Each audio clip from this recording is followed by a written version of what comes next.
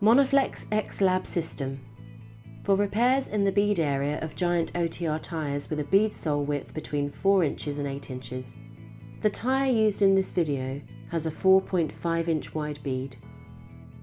Components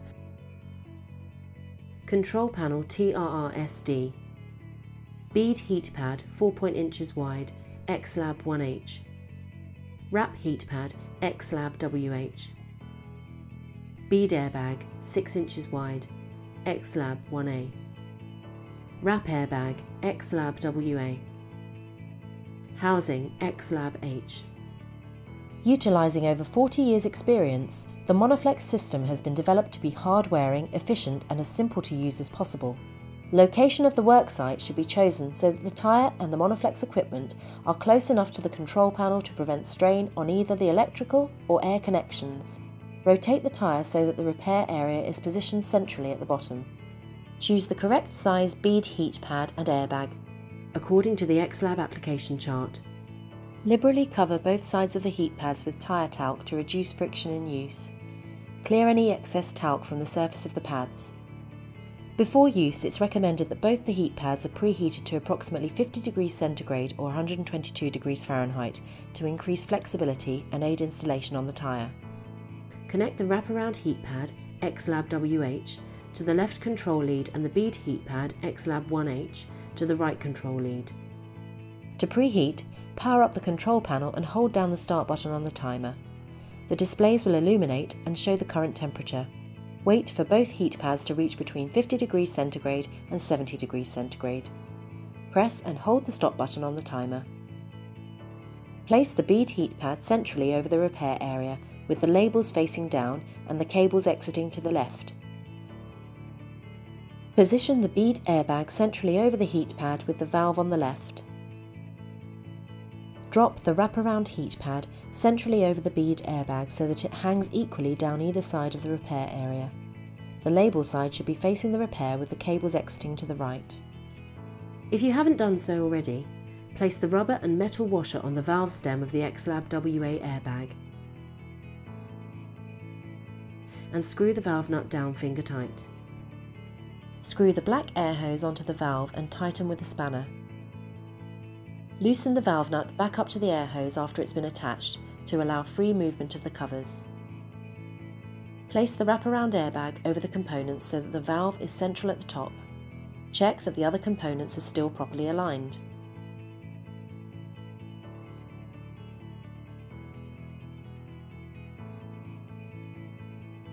Take the inside leg of the housing and position in place on one side of the repair. Insert the support bar of the outer frame through the receiving tube of the inner. It may be necessary to use one or two of the spacers depending on the width of the bead. Insert the threaded locking rod through the two frames. Place the rubber washer followed by the metal washer before screwing on the wing nut. Tighten down to hold the housing firmly in place over the components. There should be as little separation between inner and outer sections as possible. Do not over tighten as this can restrict airbag inflation. Position the other half of the housing and repeat the locking process, making sure the locking rods on both sides have a similar separation and if used, an equal number of spacers.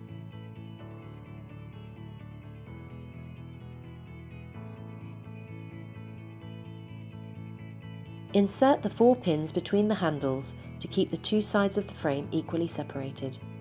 Connect the black air supply line to the wraparound airbag and the blue air line to the bead airbag. With the incoming air tap open, use the black regulator knobs to adjust the pressure on the wraparound airbag to 32 psi and the bead airbag to 28 psi. When set correctly, lock off by pushing the regulator knobs down to click. Prior to final inflation, check that all leads and electrical connections are securely connected and that nothing is trapped between the system and the tyre. The metal frame should be clear of the airbag valves.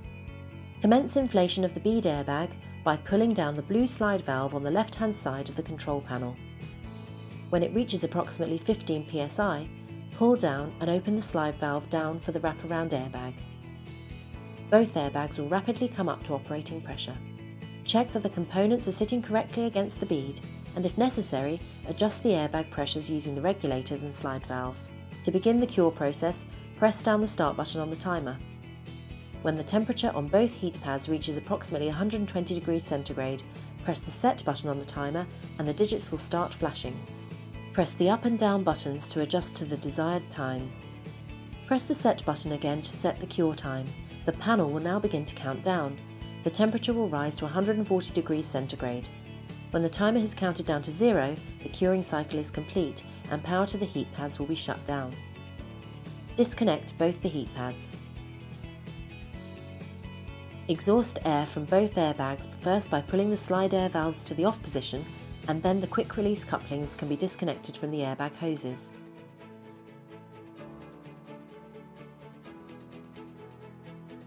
When the air has completely exhausted, release the locking rods and remove the X-Lab assembly from the tyre.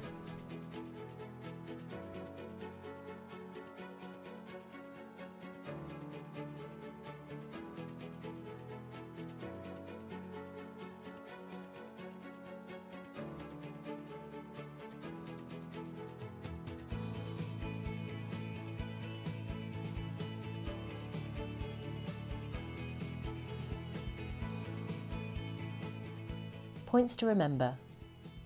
Always thoroughly dust both sides of the heat pads with talc before use.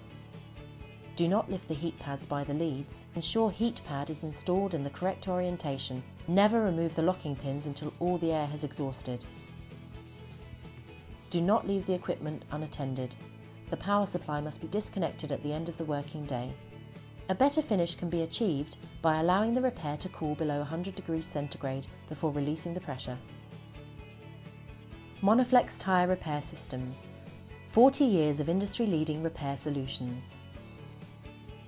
Monaflex offers complete repair solutions for any size tyre, quality components, exceptional durability, and first class global support and training. If you need further assistance, don't hesitate to get in touch via mail at monaflex.com or visit our website, monaflex.com.